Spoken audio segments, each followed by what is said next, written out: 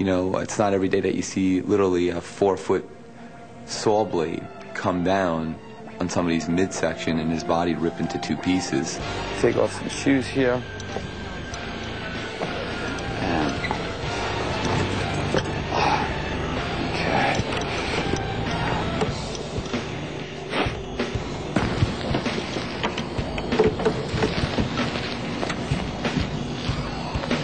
Grab a hold of my feet, my ankles, right there.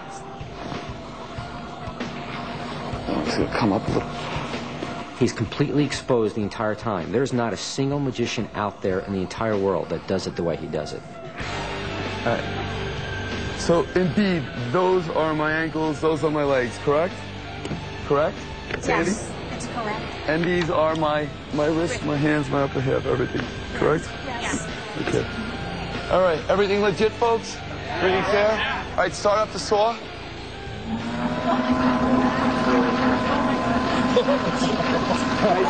nice and slowly, Jason. Nice and slowly. I want you to come down on that. Nice and slowly.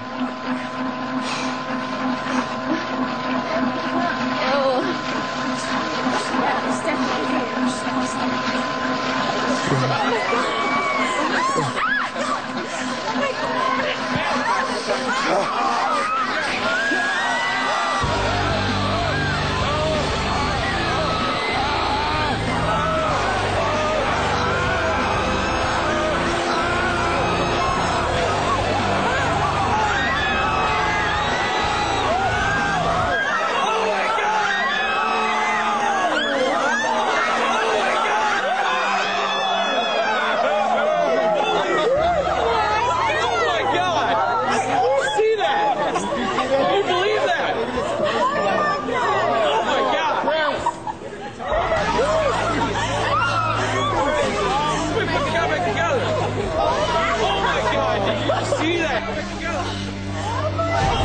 Oh my god, it was like scary. I was like gonna like die. I saw the blade coming down and it just freaked me out, like completely freaked me out totally. The audience was incredible. You could just see everybody was just like losing it.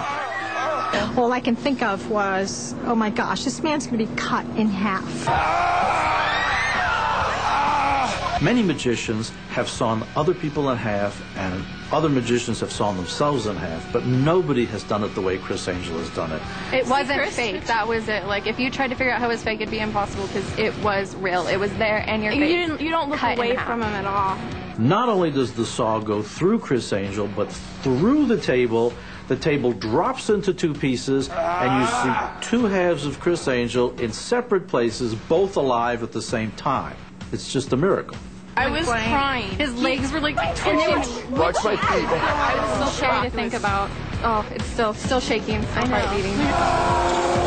And then we get to walk in between his his two body parts and like look at him and see at all angles that it's really him, like cut in half, no gimmicks, no anything underneath. I had them come up and take a look at my body, but my body was in two pieces.